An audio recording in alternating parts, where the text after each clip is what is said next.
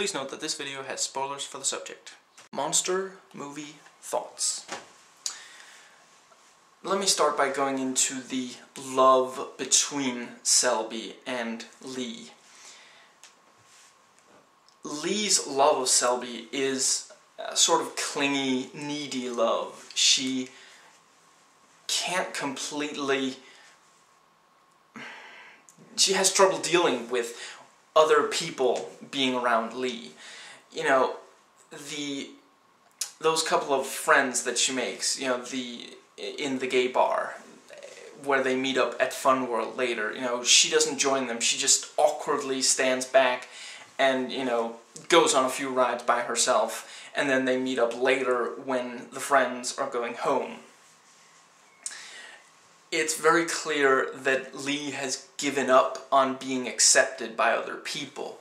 She doesn't expect society to take her in, you know, uh, there's the brief stint where she tries to get work, but, you know, by and large, she's accepted that there isn't room for her in society. At most, she can be a hooker.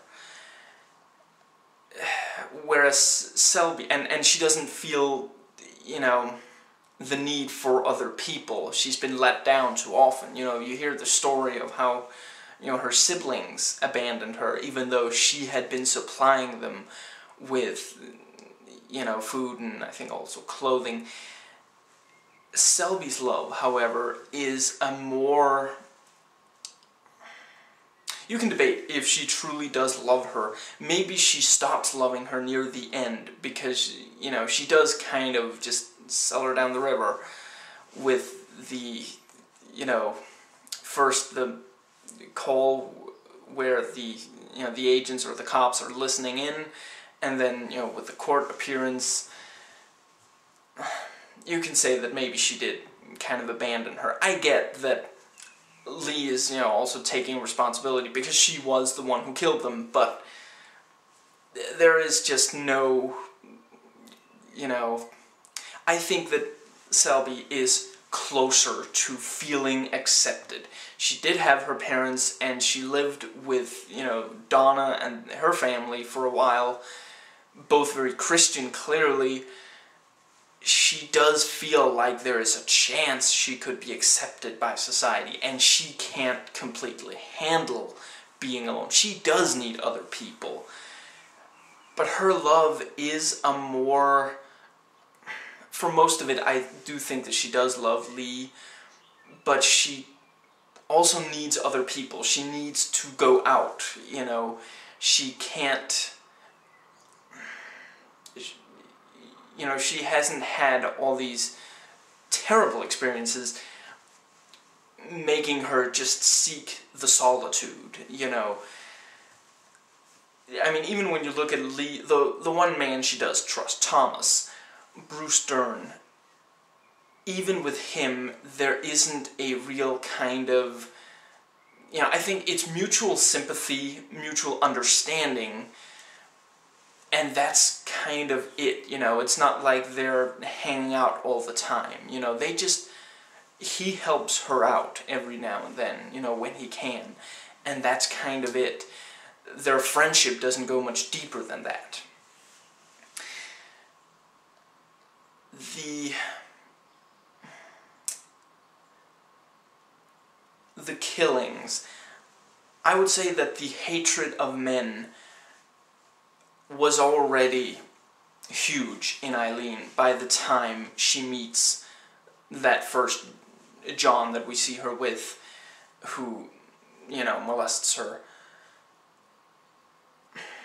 I think it's it's grown because she was never accepted by men and she was only ever seen as something to you know as a body a body to either look at or even to have sex with and that's it she's never been appreciated maybe especially by men you know and and she's had to make her way as a prostitute for all these years so she's met men that couldn't get sex other ways. You know, I'm not saying all men who go to prostitutes can't, but some of them, that's the reason.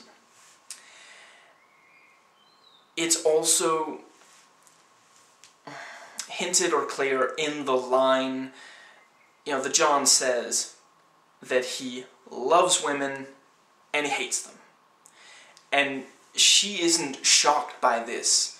She says, yes, that's how it is. That's how she feels about the other gender as well, is what I take from that line. When he attacks her, she just explodes. That was that was the spark to ignite what was already a humongous hatred for the entire gender. And after that, she just she can't go back. You know, we we see her with the next John, and he he says the same thing. You know, she is already. It's already awkward for her. It's already a very strange situation for her to be back in that kind of position. And then he triggers that in her again, and she realizes she can't go back. She can't completely stop killing. And at this point, I watched this with friends last night, and we debated what really is. You know, they suggest why doesn't she rob a bank? It would be quicker, she'd get more money out of it. I think the thing is that she feels it's what she knows. She knows how to attract men, but she can't have sex with them anymore, so she kills them. And that's kind of the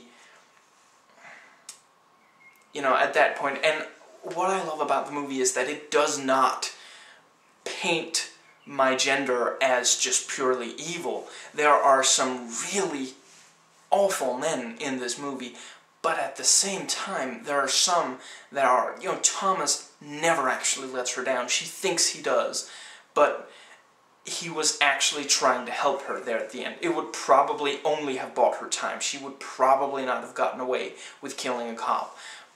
But he was still trying to help her, you know, with his last ounce of strength. You know, he couldn't come out and say it, but he was really trying to, you know, so it does not demonize anyone completely. We understand where Lee is coming from, even when we do not approve of what she's doing. I would say the most tragic of the killings is the very last one when you know the man is clearly trying to help her. You know she at, at that point she's pretty much given up on the idea that you know males will ever help her will ever do anything but hurt her. And when he sees the picture of her children he actually asks, "Are they okay?" And she's taken aback by this. She's she does a double take, and at that point she starts to kind of realize, and then he goes on to say, you know, maybe what you really need is you know a bath, some warm clothes. And she knows, you know, I, I can't kill this man. And she tries to get out. She, you know, even before the car has come to a stop but then he sees the gun and she is certain that he will, you know, reveal what she looks like. And, you know, she kills him even as he's talking about, you know, his family and his grandchild on the way. And I, I think it's in, an incredibly powerful scene, partially on account of how much she does not want to do it. She does not want to kill this man, but she feels she has to. And that is really. It's a, an example, almost a symbol of the entire, you know, to use the old saying, her life story. She doesn't want to, but she feels she has to, and she will be hated for it and that's that was the situation that she at least felt she found herself in.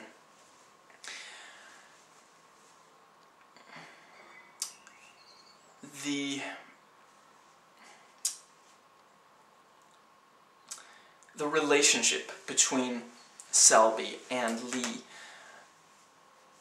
is also interesting how it develops, how it starts out as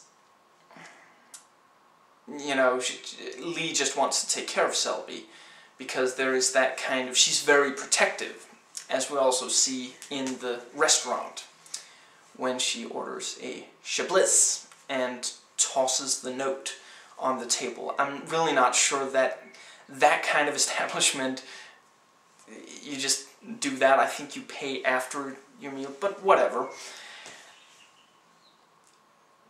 It's not that a man is, you know, talking to them or touching Aileen, it's that a man is about to touch Selby. And that is not something Aileen is prepared to accept. She tosses him away, and, you know, the kind of, you know, she, it's partially her hatred of men and her overprotectiveness of Selby. You know, there's also the line, you know, I want to meet someone without you scaring them away. You know, the. So at first, it's just Lee trying to, you know, earn some money and take care of Selby, and then once the killing begins, also note that Selby clearly does realize that something is wrong from early on. She she can tell that you know Lee did not make all this money by hooking for a night or something. But she doesn't completely, you know, she accepts it because it's a nice situation for her. There's something in it for her. She can live good off this money. I'm not saying she's a bad person. I'm saying it's human nature to not question something that you know don't look a gift horse in the mouth this, and that you know Lee also points that out later when Selby confronts her after she actually says you know that car belongs to a dead man after Selby realizes that there is a lot of money here she starts to want and want more and eventually she can't completely, you know, near the end of the movie she says, this is your plan, so get us a car. You know, she won't accept anything less than what's been promised to her. She's used to getting some good, you know, the the idea of her hooking is never really brought up and you know there's also she doesn't seem to get a job at any point so it does kind of become you know, that the relationship is entirely Lee taking care of Selby. We have the it's it's an example of a relationship continuing on the path that it was initially you know put on when in any relationship you have to define the boundaries early on because it's much diff- much more difficult to change them later on sometimes impossible. Perhaps especially in, you know, a dating or married kind of relationship.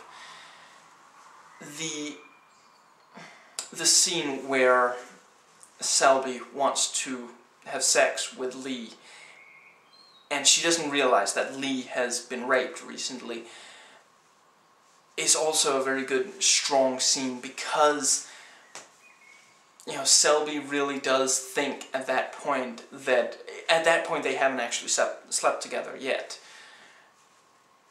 At that point, Selby is still not sure that Lee desires her, and you know, her pulling away from Selby is actually because she was recently raped. She's not ready yet for more intimacy. She's not ready to let her guard down like that. But Selby, of course, reads it as, you know, she's not even going to have sex with me. She thinks I'm going, I'm going to support her, and that she doesn't even have to have sex with me, you know.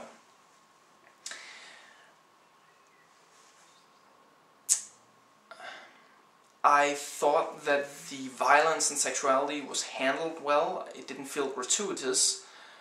There wasn't really anything that shouldn't at all have been in there, I felt.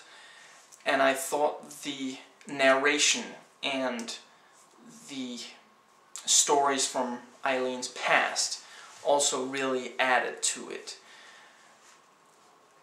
you know, the tragic story of her having been raped as a child by her father's friend, and she was beaten for it. You know, this kind of demonization of female sexuality that if a woman has any kind of sexuality other than what her surroundings allow her to, she is punished for it, whether it's actually her for her fault or not. You know, the man is not punished as much, sometimes not at all you know, and I think it is important to to highlight that that's actually still a problem. You know, a lot of people think that that's like you know for other countries with other cultures, but it does happen in a Christian culture as well. And the you know the disbelief and the silence is really part of this problem that you can't come forward and say that something like that has happened to you without someone judging you. And there are going to be a lot of people who don't even believe that, you know, that it's the truth. And obviously, yes, some do lie about having been having been raped, but it should at least be looked into. You know, we should start out by thinking maybe she's telling the truth. You know, maybe this is, maybe this did really happen, or he for that matter.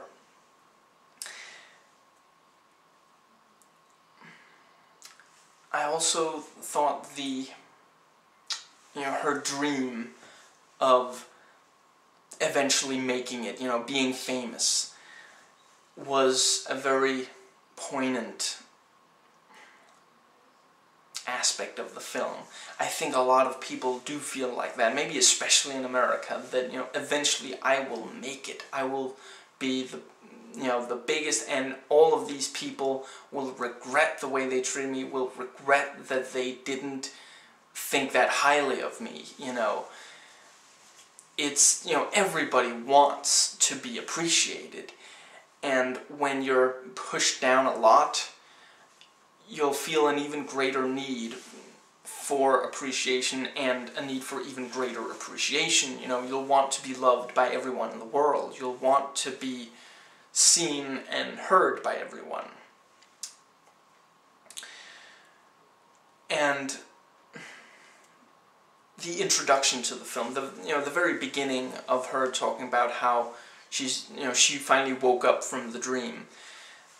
It also works really well because there is that kind of you know you can tell from her later you know from her trying to get a job she is kind of naive she doesn't she hasn't completely thought through how she's going to you know what what her options are you know it's you know, she's driven by the hope the the love she has faith she has faith in Selby and that makes her feel like she can do more. You know, and I think it's also an important point that when she does try to get a job, she still isn't accepted by society. You know, she's picked up by that cop when she hasn't been hooking for a little while, and he still treats her as if he caught her while, you know, trying to hook. the but yes, the dream. She, you know, she wakes up and that's when reality really hits her. You know, at first it happens some before she meets Selby, and as one of my friends remarks, she's very thirsty in that first bar scene. And then again, you know, when she's with the John, she is far too careless. You know, it's again the naivete and her having lived, lived a dream. She hasn't really thought about the possible consequences. You know, there isn't that much. She hasn't taken taken any precautions. You know, it's far too easy for him to attack her like that. And, you know, without at all saying that anything that first John did was okay, you can still understand him. And that's something incredible about the film. Even when people are at their most horrible, you can still understand them. It's this kind of, he, he feels a need to have power over women. He can't handle when women have power over him. He can't handle. We don't know everything about him, but let's say he does he's not happy with his job. He doesn't make a lot of money. A lot of people in America don't. He is not especially in that, you know, social layer. And he is not you know, and his wife probably isn't very happy about that. And he feels this kind of, you know, a lot of men feel like they have, they are being controlled by women. And I would say women do have considerable power over us, mostly in the psychological sense. And the thing is that, you know, you just have to accept that and learn to live with it, and of course avoid women who really abuse that power. Here's a newsflash for those who think it's everyone. It's not all of them, okay? It, it's not. There are some wonderful women out there. So, you know, you it's it's that he can't push through. It's that he it's that she doesn't do exactly what he wants. You know, that's the thing. He, he repeats his demands several times, and then finally he just attacks her because that's what he, you know, he feels the need to have power over. And it's also, you know, it's pretty clear that he has probably killed before, or he was at least going to kill her, you know, chop her up, bury her somewhere, you know, so you know, with that first one, you can really understand her actions. Anyway, I think that's everything there is for me to say about the movie. If there's anything you feel I've missed out on commenting on, let me down below. Please rate and comment, and hey, if you like this video, that subscribe button's just waiting for you to click it.